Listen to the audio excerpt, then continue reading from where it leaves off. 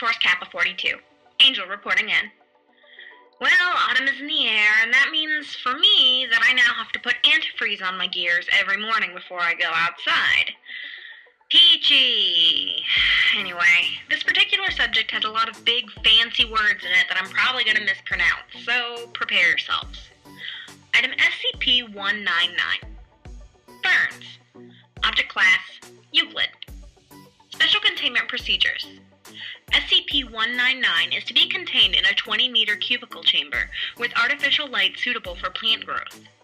Instances of SCP-199-2 are to be captured by Class D personnel wearing Level A slash Type 1 hazmat suits with SCBA before ripening. Instances of SCP-199-2 are to be placed in a 1 cubic meter sealed plexiglass container with 10 liters of potting soil until ripened and the spores are released. Once spores are released, the plexiglass container is to be vented with the resultant chemicals either harvested or neutralized.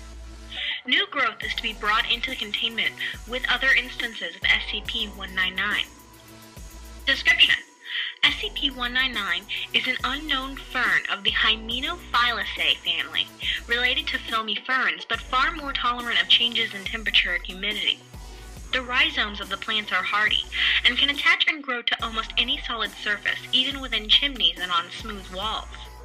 The rhizomes and roots of the plant appear similar to the thallus liverworts, but the fronds are entirely unique to the plant. The fronds form into bladders approximately 10 centimeters in diameter and will inflate with hydrogen and drift away from the main plant. The bladders, designated SCP-199-2, will float in the air and ripen over several days, while the bladder absorbs energy through photosynthesis.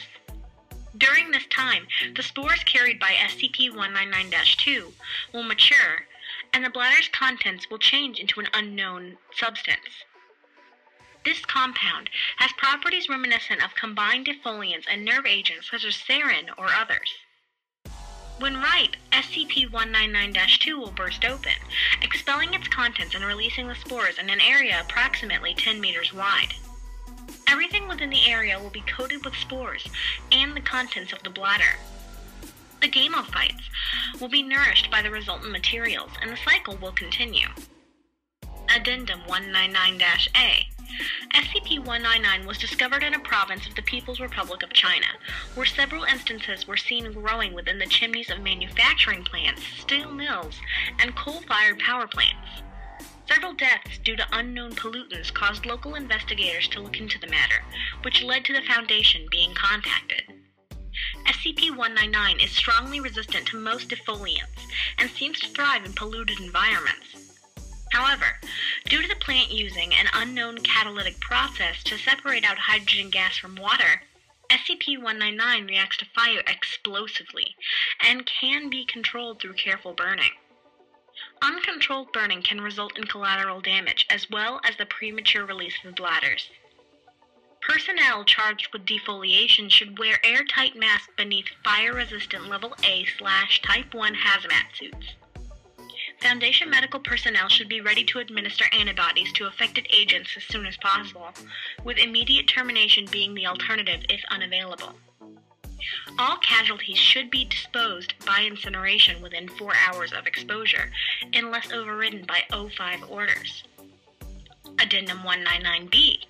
As an alternate means of control, several species of insects were introduced to SCP 199. In every case, the insects died as soon as exposure to either the plant or upon attempting to consume it. The precursors act as a very effective pesticide, and research on how to safely harvest them, as well as the basis for neutralization of the plant or arthropod, SCPs in general, is ongoing. Addendum 199 C Recent intelligence suggests involvement by the Chaos Insurgency concerning either the manufacturing or distribution of SCP-199. Evidence points to an artificial origin, and the use of SCP-199 as a weapon of eco-terrorism by unknown agencies appears likely. Alright, I was never a huge plant fan, and this is probably a good enough reason as to why. Stay safe, stay alert, and save the environment.